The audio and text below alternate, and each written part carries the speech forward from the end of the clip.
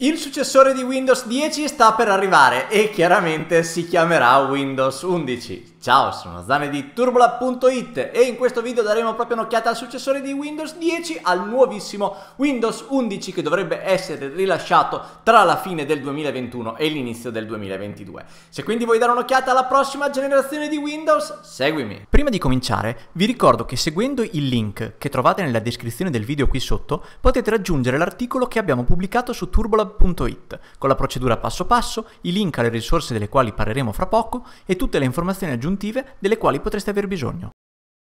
Prima di entrare nel vivo della trattazione e vedere cosa c'è di nuovo in Windows 11 dobbiamo precisare che la build che stiamo per vedere è di anteprima, si tratta quindi di una versione all'inizio del ciclo di sviluppo di Windows 11 che sicuramente verrà affinata strada facendo. Ciò premesso ci sono comunque tante novità molto interessanti in questa build d'anteprima. A saltare subito all'occhio non appena abbiamo un PC con Windows 11 è la nuova interfaccia grafica, sicuramente molto moderna e nota internamente con il nome in codice di Sun Valley. In realtà non è la prima volta che vediamo questa nuova interfaccia grafica in azione perché come gli appassionati del mondo Windows probabilmente ricorderanno aveva già debuttato con Windows 10X, la versione per per i foldable, quindi gli smartphone di prossima generazione che Microsoft aveva iniziato a sviluppare durante il 2019 e 2020, ma che poi ha abbandonato a metà 2021. La novità più evidente che salta subito all'occhio è la disposizione delle icone sulla barra delle applicazioni. Quindi in particolare questo è il nuovo pulsante Start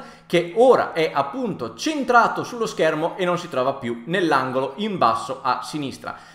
Come tale, dopo tutte le altre icone delle applicazioni in esecuzione, quelle che bloccheremo, le nostre preferite sulla barra di, eh, delle applicazioni, vengono quindi aggiunte dopo il menu Start e tutto quanto viene appunto allineato al centro. Niente paura però, chi non gradisce la nuova impostazione può comunque riportare il pulsante Start nell'angolo sinistro modificando una semplice impostazione. Dal punto di vista grafico le icone come vediamo sono completamente piatte e trasparenti e quindi sono perfettamente integrate sulla barra delle applicazioni. L'effetto effetto però che eh, si ottiene passando con il cursore del mouse sulle singole icone è sicuramente molto interessante perché appare appunto questo grazioso bordino che ci permette di identificare quale applicazione verrà concretamente avviata in caso procedessimo con il click. Per il momento non c'è nessuna di queste applicazioni in esecuzione e riusciamo a vederlo perché appena apriamo appunto le applicazioni come vediamo qua sotto compare un segmentino grigio che ci permette di capire quali applicazioni sono in esecuzione e quali sono semplicemente state bloccate e sono pronte sulla barra delle applicazioni. Ora, io ho già utilizzato parecchio Windows 11 in questi giorni e già mi sono accorto di una cosina che non mi piace moltissimo. In particolare, l'aver spostato il pulsante Start qui al centro implica che per cliccarlo e appunto per avviarlo dobbiamo mirarlo con precisione, mentre in precedenza invece bastava semplicemente muovere bruscamente il cursore e cliccare un po' alla cieca eh, verso l'angolo di sinistro per far comparire il menu. Quindi ora l'apertura del menu Start richiede un po' di mira e di precisione, mentre prima lo potevamo fare con un movimento molto più grezzo e quindi era anche molto più veloce da raggiungere. Ma clicchiamolo il nostro pulsante Start ed eccolo qua come abbiamo visto si presenta una piccola animazione che ci sottolinea appunto l'apertura del menu e cambia anche il colore.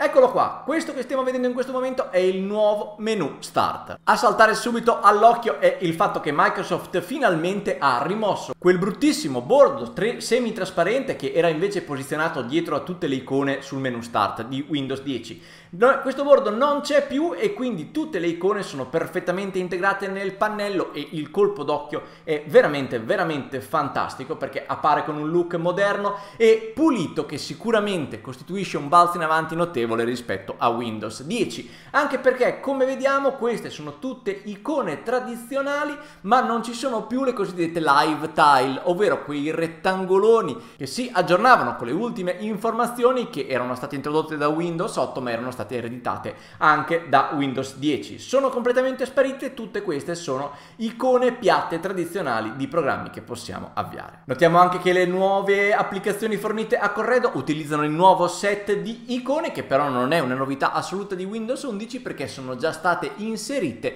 appunto nel, eh, nell'ultima generazione di Windows 10, ovvero quel Windows 10 21H2 che verrà rilasciato tra ottobre e novembre 2021. Per impostazione predefinita, oltre alle app fornite a corredo di Windows 10 come appunto Mail e Calendar, abbiamo anche alcune applicazioni tipo Spotify o Netflix che vengono qui proposte di default anche se non sono realmente installate. Sono quindi pronte per essere avviate quando ci facciamo clic vengono scaricate installate automaticamente tramite Microsoft Store e vengono poi aperte. Quindi sostanzialmente questa è una posizione nella quale per impostazione predefinita, mantenendo le impostazioni predefinite di Windows 11, Microsoft fa un po' di pubblicità alle applicazioni del Microsoft Store e probabilmente anche ai propri partner. Bene, tutta quest'area chiaramente è personalizzabile, quindi se ad esempio non ci piace eh, Netflix possiamo cliccare con il pulsante destro sull'icona e fare uninstall per rimuovere completamente l'applicazione oppure fare unpin per rimuovere l'applicazione dal menu start. Facendo clic sul pulsante All Apps invece qui in alto abbiamo la visualizzazione di tutte le applicazioni e tutto quello che è stato installato sul computer. Ora, come vediamo, in questa specifica build la visualizzazione è ancora forse un po' grezza perché fondamentalmente c'è un sacco di spazio sprecato qui sulla colonna di destra. È comunque presumibile, e almeno lo spero, che nelle prossime build Microsoft ottimizzi un po' la gestione dello spazio e mostri o alcune informazioni aggiuntive sulle specifiche app, oppure ancora meglio utilizzi un'impostazione, un layout a due colonne che permette di utilizzare anche questo spazio e quindi rendere molto più densa la visualizzazione e visualizzare quindi molte più applicazioni per singola schermata, senza costringerci, come stiamo facendo in questo momento, a scrollare per vedere anche tutte le altre applicazioni installate. Bene, ma torniamo indietro, in particolare la seconda sezione del pannello principale del menu Start, questo raccomandate che vediamo qua sotto, che, co che cosa contiene, le ultime applicazioni installate o aggiornate e se abbiamo appunto eh, attivato anche la sincronizzazione con OneDrive, come ho fatto io qui, abbiamo la possibilità di accedere rapidamente ai file di OneDrive. Chiaramente cliccando qua sul pulsante More possiamo accedere ad una lista che come già vediamo rispetto alla precedente è già molto più curata perché ci offre anche numerose informazioni ultime, sugli ultimi file come ad esempio la data di creazione e il percorso nel quale si trovano questi ultimi file. Infine qui sul menu Start anche se non è immediatamente intuibile questo è un pulsante che ci permette di accedere ad alcune impostazioni sul, eh, sul nostro account utente oppure di bloccare il computer o eseguire eseguire il logout. Dall'altra parte invece questo piccolo pulsante racchiude le impostazioni per spegnere o riavviare il PC. Bene, proseguiamo veloci con le altre icone. Questa è la lente di ingrandimento che come vedete qui è completamente nera. Questo effetto ve lo faccio rivedere perché secondo me è bellissimo. È completamente nera ma quando si apre appunto viene aggiunta una spruzzata di colore che secondo me è molto carina.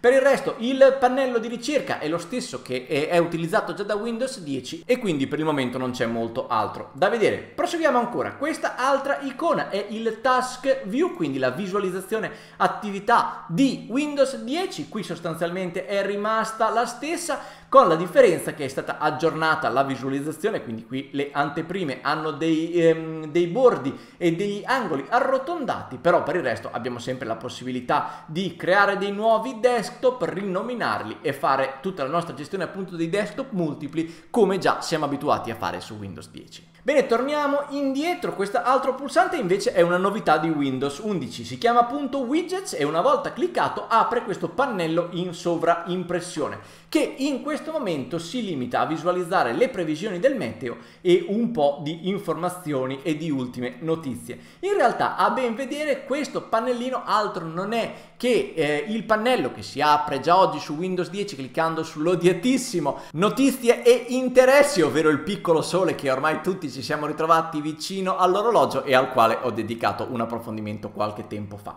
Ebbene, Microsoft in questo Windows 11 pare aver preso i contenuti di notizie e di interessi e averli inseriti per il momento in questa lunga colonna qui di fianco appunto nella schermata dei widget. La speranza chiaramente è che Microsoft sviluppi e renda eh, disponibili altre applicazioni applicazioni, quindi altri widget che potrebbero essere aggiunti e personalizzati in quest'area.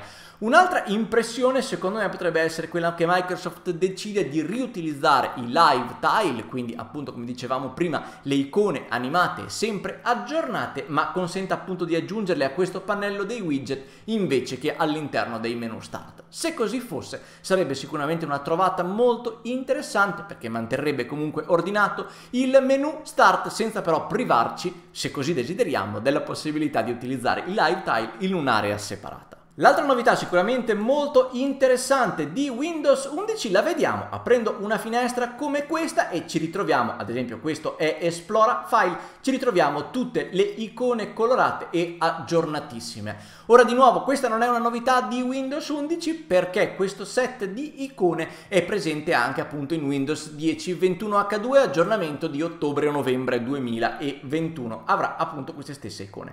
Per il resto in questo momento la gestione generale in impostazione generale di Esplora File è rimasta inalterata. Però c'è una piccola novità. Passando con il cursore del mouse qua sopra sul pulsante appunto che permette di ingrandire la finestra ci viene offerta la possibilità di scegliere il posizionamento di questa finestra e quindi rapidamente ridurla alla dimensione indicata. Ad esempio se clicchiamo su, questo, su questa selezione come vediamo viene spostato automaticamente il nostro Explora File nell'area qui a sinistra. Ma la vera figata di questa funzionalità la vediamo quando abbiamo molteplici applicazioni aperte. In questo caso quindi se passiamo con il cursore del mouse sempre sullo stesso comando abbiamo appunto la possibilità di eh, spostare e agganciare rapidamente la finestra fino a farla occupare una porzione di schermo ma subito dopo parte l'assistente allo snap perché possiamo scegliere la finestra di, da affiancare. Ora chiaramente questa non è una novità in senso assoluto ovvero anche su Windows 10 potevamo ottenere questo questo comportamento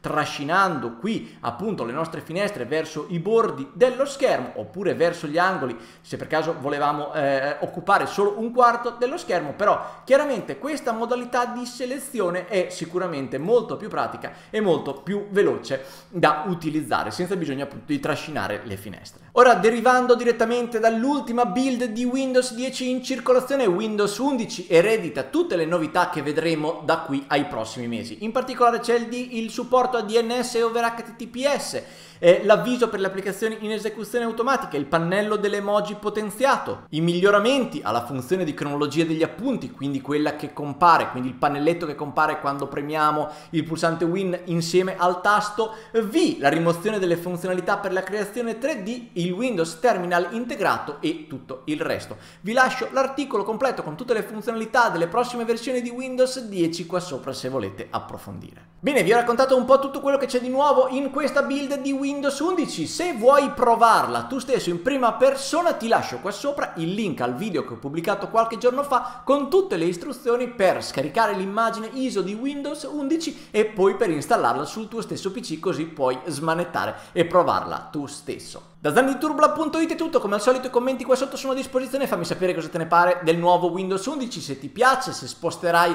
di nuovo il pulsante start nell'angolo a sinistra oppure se lo manterrai allineato al centro, quali sono le tue impressioni sulle funzionalità di Snap e in particolare tutto quello che ti salta in mente.